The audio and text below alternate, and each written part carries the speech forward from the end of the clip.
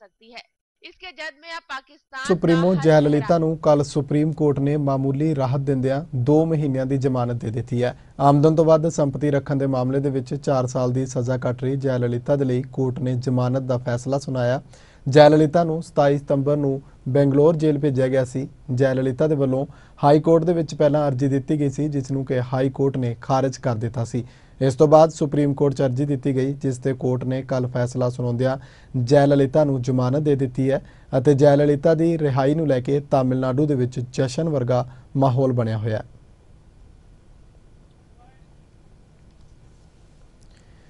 ਜੀ, ਰੁਕ ਕਰਦੇ ਹਾਂ ਅਗਲੀ ਖਬਰ ਵੱਲ। ਖਾਣ ਪੀਣ ਦੀਆਂ ਚੀਜ਼ਾਂ ਦੇ ਵਿੱਚ ਮਿਲਾਵਟ ਕਰਨ ਵਾਲੇ ਦੁਕਾਨਦਾਰਾਂ ਤੇ ਸਿਹਤ ਵਿਭਾਗ ਨੇ ਆਪਣੀ ਸਖਤਾਈ ਦਿਖਾਉਣੀ ਸ਼ੁਰੂ ਕੀਤੀ ਹੋਈ ਹੈ। ਜੀ ਹਾਂ, ਪਿਛਲੇ ਦਿਨੀ ਮੋਗਾ ਦੀ ਪੇਠਾ ਫੈਕਟਰੀ ਵਿੱਚ ਮਿਲਾਵਟੀ ਸਮਾਨ ਦੇ ਫੜੇ ਜਾਣ ਤੋਂ ਬਾਅਦ ਮੋਗਾ ਦੇ ਸਿਹਤ ਵਿਭਾਗ ਨੇ ਸ਼ਹਿਰ ਦੇ ਦੋ ਕੋਲਡ ਸਟੋਰੇਜ ਦੇ ਵਿੱਚ ਛਾਪੇਮਾਰੀ ਕੀਤੀ, ਜਿਸ ਦੇ ਦੌਰਾਨ ਵਿਭਾਗ ਵੱਲੋਂ 60 ਕੁਇੰਟਲ ਮਾਵਾ ਮਿਲਾਵਟੀ ਪਾਇਆ ਗਿਆ।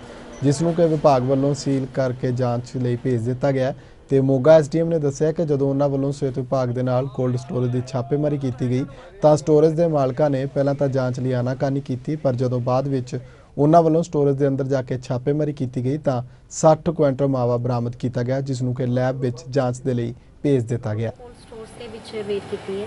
ਅਸੀਂ ਹੁਣ ਇਹ ਸੈਂਪਲ ਭਰ ਲਏ ਭਰ ਲਏ ਗਏ ਹਨ। ਤੇ 24 ਆਵਰਸ ਦੇ ਵਿੱਚ ਵਿੱਚ ਰਿਪੋਰਟ ਆਏਗੀ। ਉਸ ਤੋਂ ਬਾਅਦ ਹੀ ਜੋ ਵੀ ਕਾਨੂੰਨੀ ਕਾਰਵਾਈ ਹੋਵੇਗੀ ਅਸੀਂ ਉਹ ਐਸ ਪਰ ਲੋ ਕਰਾਂਗੇ। ਜੀ ਸਾਰੇ ਜਿਹੜਾ ਜਿੰਨਾ ਵੀ ਸਾਨੂੰ ਹੋਇਆ ਮਿਲਿਆ ਹੈਗਾ ਉਹਨੂੰ ਸੀਜ਼ ਕਰ ਲਿਆ ਗਿਆ ਹੈਗਾ। ਤੇ ਹੁਣ ਉਹ ਤੇ ਅਸੀਂ ਆਪਣੀ ਸੀਲ ਸਟੈਂਪ ਲਗਾਤੀ ਹੈ ਤੇ ਉਨੀ ਦੇਰ ਤੱਕ ਤੇ ਇਹਨੂੰ ਤਿਉਹਾਰਾਂ ਦੇ ਦਿਨਾਂ ਵਿੱਚ ਖਾਣ ਪੀਣ ਦੀਆਂ ਚੀਜ਼ਾਂ ਵਿੱਚ ਦੁਕਾਨਦਾਰਾਂ ਵੱਲੋਂ ਮਿਲਾਵਟ ਨੂੰ ਰੋਕਣ ਦੇ ਲਈ ਪੰਜਾਬ ਦੇ ਵੱਖ-ਵੱਖ ਜ਼ਿਲ੍ਹਿਆਂ ਦੇ ਵਿੱਚ ਸਿਹਤ ਵਿਭਾਗ ਵੱਲੋਂ ਦੁਕਾਨਾਂ ਤੇ ਵੀ ਛਾਪੇਮਾਰੀ ਕੀਤੀ ਜਾ ਰਹੀ ਹੈ। ਬੀਤੇ ਦਿਨੀ ਪਟਿਆਲਾ ਦੇ ਨਗਰ ਨਿਗਮ ਸਿਹਤ ਵਿਭਾਗ ਦੀ ਟੀਮ ਵੱਲੋਂ ਪਟਿਆਲਾ ਦੀਆਂ ਖਾਣ ਪੀਣ ਵਾਲੀਆਂ ਦੁਕਾਨਾਂ, ਰੇਹੜੀਆਂ ਤੇ ਜਾਂਚ ਕੀਤੀ ਗਈ। ਜਾਂਚ ਦੇ ਦੌਰਾਨ ਫੈਕਟਰੀਆਂ ਦੇ ਵਿੱਚ ਬਣ ਰਹੇ ਪਤੀਸੇ ਦੇ ਵਿੱਚ ਮਿਲਾਵਟ ਪਾਏ ਜਾਣ ਤੇ ਫੈਕਟਰੀਆਂ ਦੇ ਚਲਾਨ ਵੀ ਕੱਟੇ ਗਏ। ਉੱਥੇ ਹੀ ਰੇਹੜੀਆਂ ਤੇ ਵੀ ਵਿਕਰੇ ਸੜੇ ਗਲੇ ਫਲਾਂ ਨੂੰ ਵੀ ਸਿਹਤ ਵਿਭਾਗ ਦੀ ਟੀਮ ਵੱਲੋਂ ਸੁਟਵਾਇਆ ਗਿਆ। ਸਿਹਤ ਵਿਭਾਗ ਅਧਿਕਾਰੀਆਂ ਨੇ ਦੱਸਿਆ ਕਿ ਮਿਠਾਈਆਂ ਤੇ ਹੋਰ ਖਾਣ ਪੀਣ ਵਾਲੀਆਂ ਚੀਜ਼ਾਂ ਦੇ ਸੈਂਪਲ ਲੈ ਲਏ ਗਏ ਨੇ ਤੇ ਜਾਂਚ ਦੀ ਰਿਪੋਰਟ ਆਉਣ ਦੇ ਮਗਰੋਂ ਅਗਲੀ ਕਾਰਵਾਈ ਕੀਤੀ ਜਾਵੇਗੀ।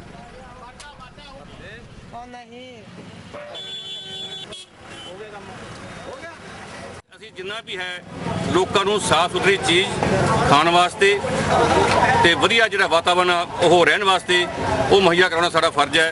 ਅਪੀਲ ਕਰਦੇ ਹਾਂ ਵੀ ਉਹ ਕੋਈ ਵੀ ਚੀਜ਼ ਲੈਂਦੇ ਆ ਹਰ ਚੀਜ਼ ਦੇਖ ਕੇ ਕੋਈ ਐਕਸਪਾਇਰ ਨਾ ਹੋਵੇ ਕੋਈ ਖਰਾਬ ਨਾ ਹੋਵੇ। ਕਦੀ ਚਲਾਨ ਕਰਤਾ ਹੈਗਾ ਸੀ ਉਹਨਾਂ ਤੇ ਕਾਰਵਾਈ ਹੋਏਗੀ ਕੋਰਟਸ ਭੇਜਾਂਗੇ ਉਹਨੂੰ ਪੰਜਾਬ ਸਰਕਾਰ ਦੇ ਐਲਾਨ ਦੇ ਮੁਤਾਬਕ ਸੂਬੇ ਵਿੱਚ ਝੋਨੇ ਦੀ ਸਰਕਾਰੀ ਖਰੀਦ ਭਾਵੇਂ 1 ਅਕਤੂਬਰ ਤੋਂ ਸ਼ੁਰੂ ਹੋ ਗਈ ਹੈ, ਪਰ ਕਈ ਦਿਨ ਬੀਤਣ ਮਗਰੋਂ ਵੀ ਬਰਨਾਲਾ ਦੀ ਦਾਣਾ ਮੰਡੀ ਵਿੱਚ ਕਿਸਾਨਾਂ ਨੂੰ ਆਪਣੀ ਫਸਲ ਵੇਚਣ ਦੇ ਲਈ ਖੱਜਰ ਖੁਆਰ ਹੋਣਾ ਪੈ ਰਿਹਾ ਹੈ। ਮੰਡੀ ਦੇ ਵਿੱਚ ਝੋਨੇ ਦੇ ਢੇਰ ਲੱਗੇ ਹੋਏ ਨੇ, ਪਰ ਸਫ਼ਾਈ ਤੇ ਪੀਣ ਵਾਲੇ ਪਾਣੀ ਨਾਲ ਲਈ ਢੁਕਵੇਂ ਪ੍ਰਬੰਧ ਨਹੀਂ ਕੀਤੇ ਗਏ।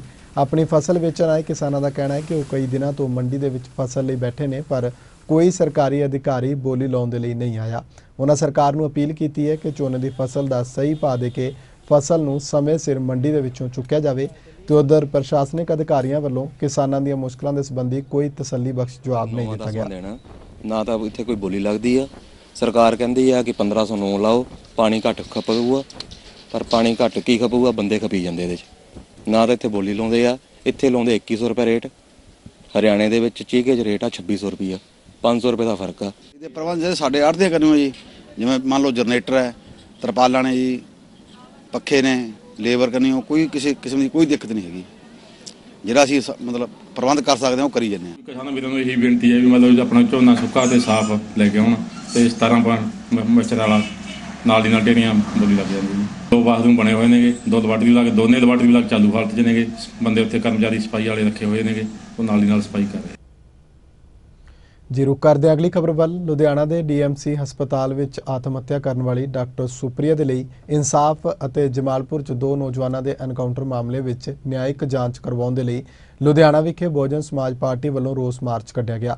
ਰੋਸ ਮਾਰਚ ਦੇ ਵਿੱਚ ਬਸਪਾ ਦੇ ਸੂਬਾ ਪ੍ਰਧਾਨ ਅਵਤਾਰ ਸਿੰਘ ਕਰੀਮਪੁਰੀ ਨੇ ਵਿਸ਼ੇਸ਼ ਤੌਰ ਤੇ ਸ਼ਮੂਲੀਅਤ ਕੀਤੀ। ਵੱਡੀ ਗਿਣਤੀ ਦੇ ਵਿੱਚ ਪਾਰਟੀ ਆਗੂਆਂ ਵੱਲੋਂ ਡੀਸੀ ਨੂੰ ਇੱਕ ਮੈਮੋਰੰਡਮ ਵੀ ਸੌਂਪਿਆ ਗਿਆ।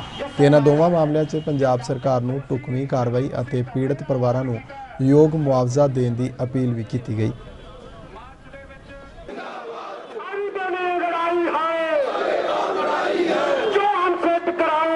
ਡਾਕਟਰ ਸੁਪਰੀਆ ਦੀ ਜੋ ਮੌਤ ਲਈ ਜ਼ਿੰਮੇਦਾਰ ਦੋਸ਼ੀ ਨੇ ਜੋ ਜਮਾਲਪੁਰ ਦੇ ਵਿੱਚ ਦੋ ਦਲਿਤ ਨੌਜਵਾਨਾਂ ਦੀ ਹੱਤਿਆ ਦੇ ਜ਼ਿੰਮੇਦਾਰ ਨੇ। ਉਹਨਾਂ ਦੋਸ਼ੀਆਂ ਦੇ ਵਿਰੁੱਧ ਕਾਨੂੰਨ ਅਨੁਸਾਰ ਕਾਰਵਾਈ ਕਰਵਾਉਣਾ ਕੰਪਨਸੇਸ਼ਨ ਦਿਵਾਉਣਾ, ਪਰਿਵਾਰ ਦੇ ਮੈਂਬਰਾਂ ਨੂੰ ਸਰਕਾਰੀ ਨੌਕਰੀ ਦਿਵਾਉਣਾ, ਜਮਾਲਪੁਰ ਦੀ ਘਟਨਾ ਦੀ ਨਿਆਇਕ ਜਾਂਚ ਕਰਵਾਉਣਾ।